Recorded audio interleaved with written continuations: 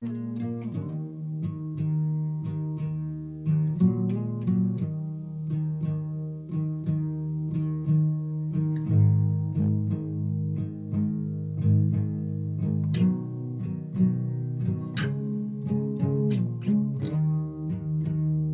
1956, a production company called CinemaScope released the film The Conqueror, starring Hollywood superstar John Wayne.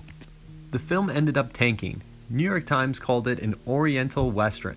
Even John Wayne said the film was a disaster. New York Times criticizes Dick Powell, the producer of the film, for obviously not being interested in having any accuracy in his depiction of Genghis Khan.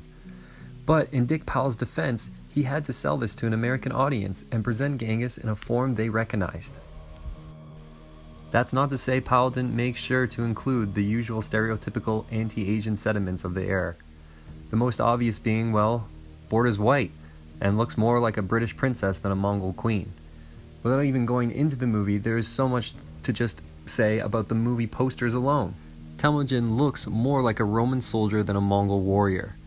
The movie posters present Genghis to be a noble barbarian that loves but is also a ruthless killer.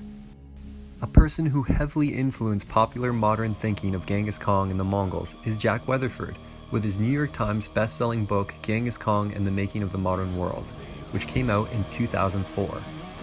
Weatherford attributes the changing attitudes to Genghis and the Mongols to the fall of the Soviet Union, to which archives that were previously closed were now open for researchers to explore.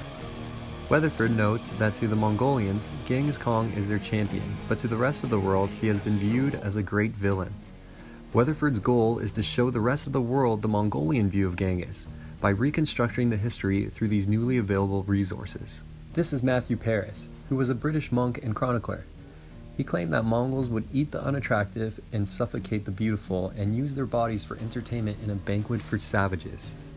Matthew Paris claimed they would rape virgins till they died of exhaustion, and they would cut off their breasts as snacks for their chiefs.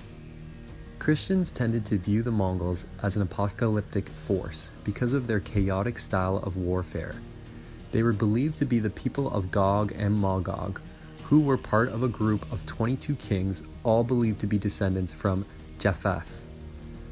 Alexander the Great ends up locking them away in the Caspian Mountains or the breasts of the north. At the end of time, the Bible says they will break free under the direction of the Antichrist and destroy the world.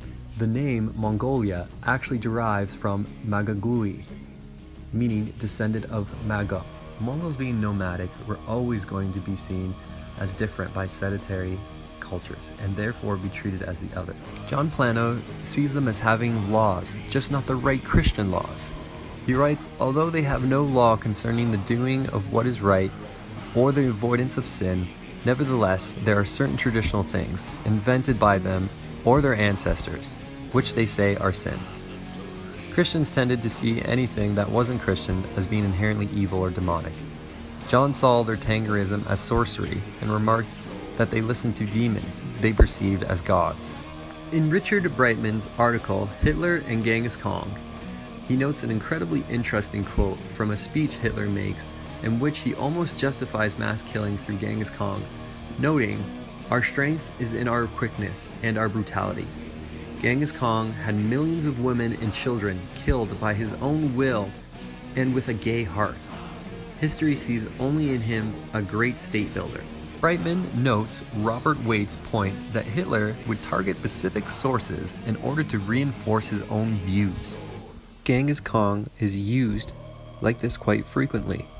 Weatherford, for example, focuses on the attributes of the Mongols and Genghis that help support his views, just how Powell picked and chose what Mongol attributes to depict in his film in order to sell to an American audience. Weatherford making his book more novelistic I think paid off because it made it more appealing to a wider audience.